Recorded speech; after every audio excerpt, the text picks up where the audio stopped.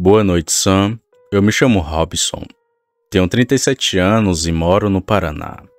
Por motivos de segurança, gostaria de não contar onde moro, pois nunca fui levado a sério sobre isso, e nem toquei muito no assunto nos últimos anos, já que esse caos me atormentou por várias noites. Mas quero que todos saibam que sou um enfermeiro e que atuo na Santa Casa da minha cidade, que fica próximo do local da onde vi aquela criatura. O ano era 2008 Faziam poucos meses que eu tinha me formado. Estava desempregado já que não havia contratos e nem concursos disponíveis. E por isso tive que arrumar um outro emprego para me manter, pois nessa época eu já não morava com meus pais, por conta de motivos pessoais, que aqui não são importantes. Bem, antes eu me mantia com o dinheiro de uma bolsa da faculdade e morava em uma residência universitária. Quando o curso acabou, encerraram essa bolsa, mas ainda fiquei lá por dois meses, que foi a época em que passei sem me manter com dinheiro algum, somente sendo ajudado por amigos e conhecidos. Foi uma época bem difícil, mas para minha sorte, era que tinha uma vaga de copeiro em um hotel que fica próximo da Santa Casa, lugar onde trabalho atualmente. Eram apenas duas vagas, e que graças a Deus consegui uma, e logo comecei a trabalhar. Com isso já tinha se passado cerca de três meses, desde que comecei nesse meu novo emprego, e já estava morando em um outro local, um pouco perto do hotel. Era só pegar um ônibus, e com cerca de 10 minutos já chegava lá. O lugar era um kitnet pequeno, que de frente a ele tinha uma pequena praça, e além da praça, tinha uma mata muito extensa. E assim a vida ia seguindo, até aquela noite muito estranha. E foi assim que aconteceu.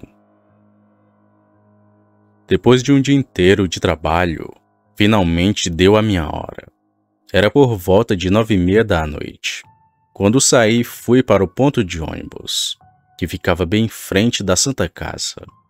Lá já senti uma estranha sensação de como se estivesse sendo observado, mas relevei por o lugar ser movimentado. Por volta das 9h45, eu peguei o ônibus e então segui para minha casa. Detalhe, Sam, nesse local também tinha muita mata por perto. Bom, logo quando desci do ônibus, notei que a minha rua estava bem estranha. Os cães letiam para a mata que tinha perto da pequena praça e não tinha ninguém ali além de mim. Mas, como de costume, coloquei o capuz da blusa e saí. Após alguns passos, cheguei e entrei no meu apartamento e continuava a ouvir os cães latindo de longe. Então coloquei a minha janta e fiquei comendo na sala.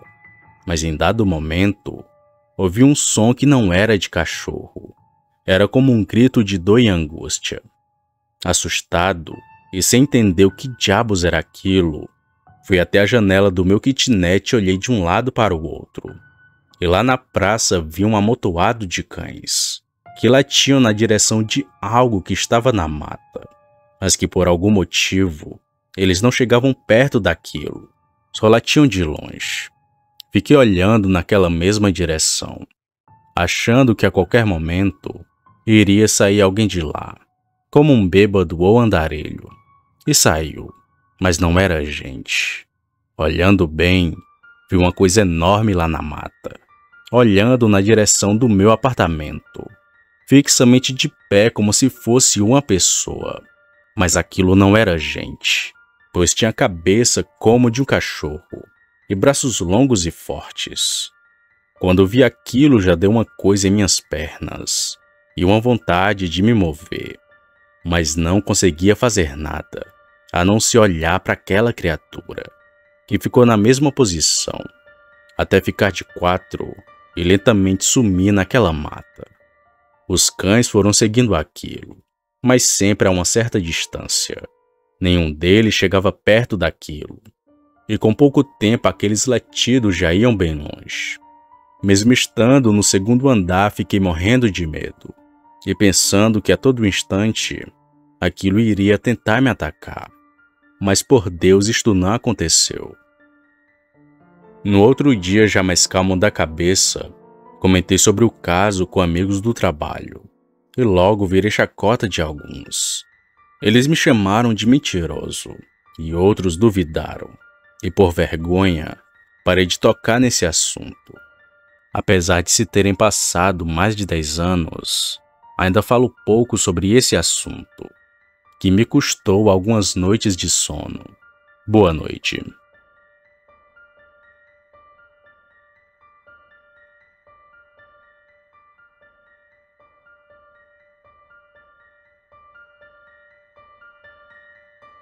Opa, e aí? Se você chegou até aqui, significa que gostou do vídeo ou que me aturou por longos minutos. Mas se tiver gostado, lhe convido a se inscrever no canal. Basta apertar no botão vermelho abaixo, esse que aparece na tela. Ative também o sino das notificações.